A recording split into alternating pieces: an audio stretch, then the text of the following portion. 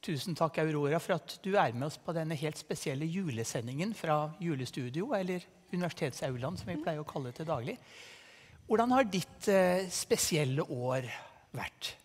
Um, det har vært ganske likt alle sitt år, tror jeg. Um, jeg har vært mye hjemme, mye inne. Um, og så er jeg veldig, jeg er veldig lite opptatt av å bruke tid på ting jeg ikke kan forandre. så jeg har, eh, jeg har prøvd å gjøre det beste ut av det. Jeg har malt mye. Mhm, Det har vært veldig gøy. Så har jeg lagd eh, masse musikk. Det har vært veldig, et veldig kreativt og godt år, egentlig. Arbeidsro, altså. Ja, veldig ar arbeidsfullt år. Ja, men det er jo positivt for oss at du lager masse bra musikk. Det er det minste. Eh, nå står jo jula snart for dør. Hva gleder du deg aller mest til med jula, og ikke minst tida som kommer etterpå, når vi er ferdig med pandemien? Um, jeg er veldig glad i jul.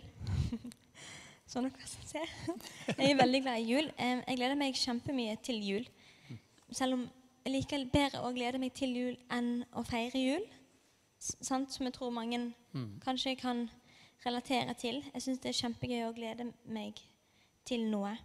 Um, bare helt uten, uten videre. Jeg gleder meg kjempemye. Em, og så gleder jeg meg til å gå i push og ikke dusje en hel uke og glemme hvem jeg er. Sånn som man gjør mellom jul og nyttårsaften. Ja, det liker jeg. Har du noen eh, gode råd, kanskje, til våre studenter som eh, ja, Mange av de har jo hatt det litt ensomt på hybelen og ikke vært i stand til å treffe kompiser og sånn. Ja, det, det, eh, det er helt forferdelig. Jeg har tenkt veldig mye på studentene em, og, og de unge oss. Det er jo um, det, det kan oppleves ekstra fælt, tror jeg, når du er så ment i blodet til å gå ut og leve og være sosial og um, du, du blir så dratt ut av behovene dine ut der. Så jeg tror det har vært ekstra tungt for studentene våre å ikke fått gjøre det som man vil så gjerne gjøre når man er på vår alder og når man er ung. Um, så jeg, ja, jeg, jeg har tenkt veldig mye på, på dere der hjemme. Um, jeg håper bare at folk er snille med seg sjøl og forstår hvorfor man um, ikke får til like mye som vanlig, hvorfor man er mye trøtt, hvorfor man gjerne ikke føler seg like bra som vanlig fordi at man, man, uh, man kan glemme mye av det som er godt med både seg sjøl og andre når man er ensomme.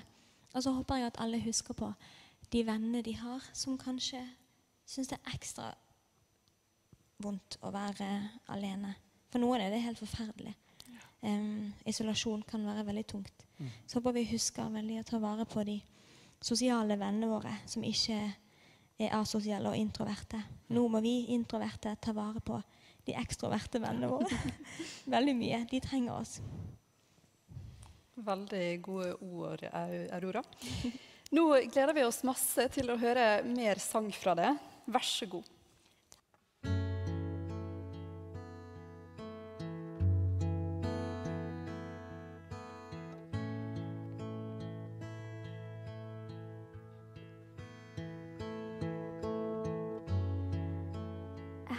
Kjærlighetssang til dere. Fordi det er viktig i sånne tider å huske hvorfor vi er her. They say there is a war between the man and the woman.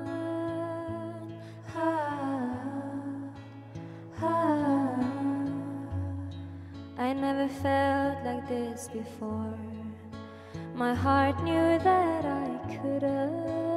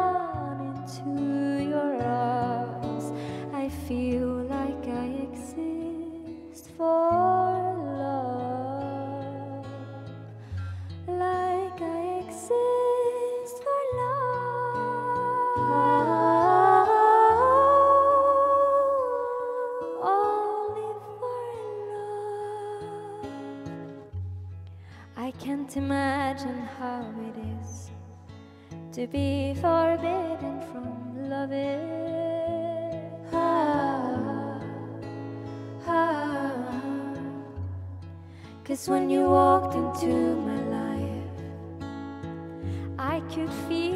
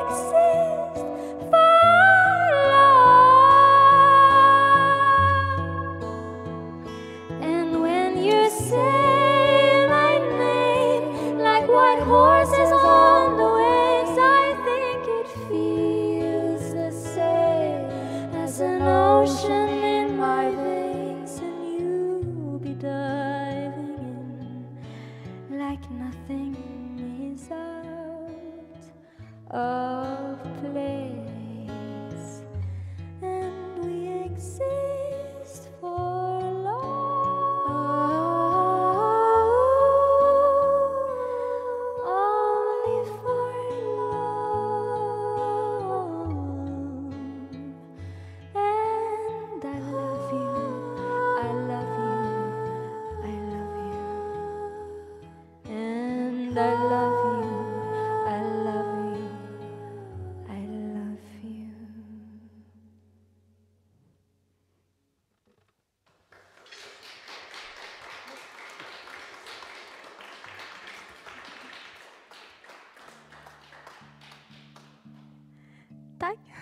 Tusen takk.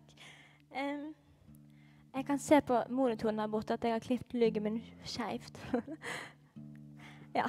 God jul, alle sammen. Um, vi, vil, vi vil gjøre en siste julesang for dere fordi at jul er fantastisk. Um, jeg syns denne sangen er så fin. Altså, jeg elsker både meg og Silja 'Snømenn'.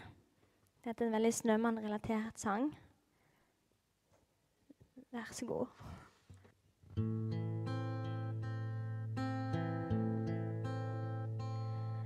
I'm walking in the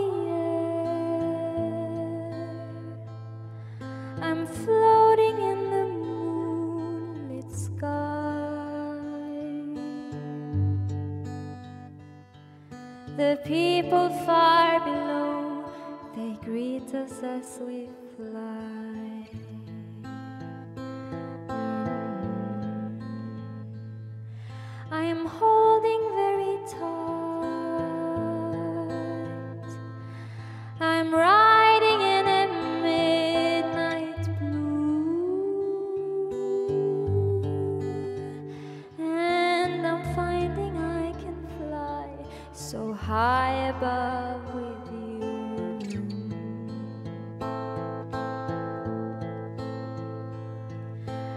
Oh.